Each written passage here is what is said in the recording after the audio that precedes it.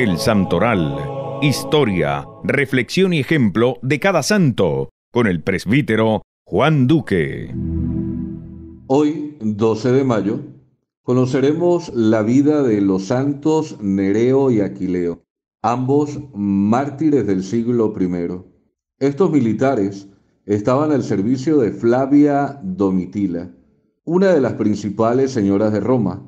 El historiador Eusebio dice que esta noble dama era sobrina del emperador Domiciano y que el tal mandatario la envió al destierro porque ella se había declarado seguidora de Jesucristo con Domitila. Fueron enviados también al destierro San Nereo y San Aquileo porque proclamaban su fe en el divino Redentor.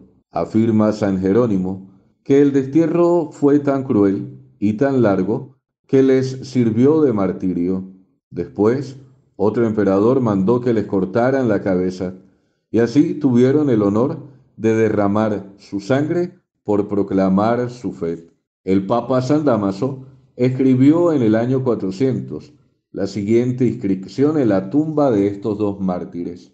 Nereo y Aquileo pertenecían al ejército del emperador, pero se negaron a cumplir ciertas órdenes que a ellos les parecían crueles. Al convertirse al cristianismo, abandonaron toda violencia, prefirieron tener que abandonar el ejército antes que ser crueles con los demás. Proclamaron su amor a Cristo en esta tierra y ahora gozan de la amistad de Cristo en la eternidad. El bajo relieve que representa San Aquileo, al ser golpeado por el verdugo, se considera como la más antigua representación que se ha encontrado acerca del martirio de un cristiano.